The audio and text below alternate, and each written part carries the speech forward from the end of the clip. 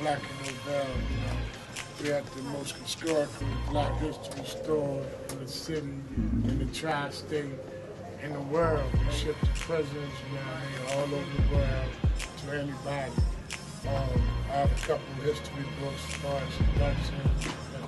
right, let's start. And then I'm going to jump out you can Basically, what I got in my hands is a lot of different knowledge, history, um, things that they won't let us know, things that you can learn, be an author, um, create your own business.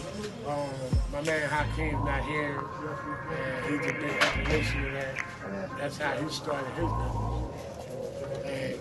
And, and his business started from these books he started from a stand right in front of the Chinese store on Ariana. And he's been there for more than five, six, seven years before he was in the store. And his store was over the next door. So, you know, back in the day, it was a book, What Black uh, Black People Need to Do Now. Ralph Wiley, Wiley had some books. Um, black people tend to shout and what black people need to do now. I mean, so, I mean, we're, we're coming off a few days after this election. You know, what was your take on it? And, and how did you look at it? I, I looked at it like I heard from D W R D on some because he don't know politics, and I know it's not really about that with him. We all know he about money. You know what I'm saying?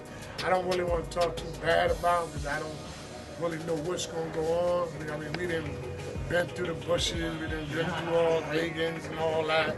But I don't really want to judge him on too much stuff of the way it looks. You know how he was talking during the election.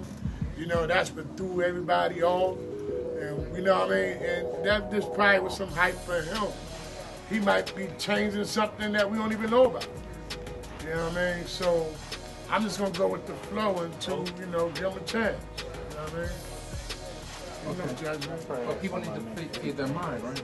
Yeah, everybody gonna feed their mind. Everybody had their preference. Now, feed their mind. Yeah, feed their mind. Hell yeah, hell yeah. I mean, that's the number one situation, but we got to step on our game. Uh-huh. And we know who's in the thing, like we really got to step on our game. You know what we got to do, it's time to work. And that's what he about, work. So, you know, if you lay back, you need to get off that back and, you know, start getting popping. You know, that's real tough. And Black and Nobel, you know, we don't ask for no handouts. We grind every day, like, you know what I mean? So we gonna be good. You know what I mean? We gonna be good. We get, we got the we got the work in here. You know what I'm saying? So we good. So anybody, y'all need to step your game up. Stop worrying about Trump and just live your life and know what you're supposed to do. You.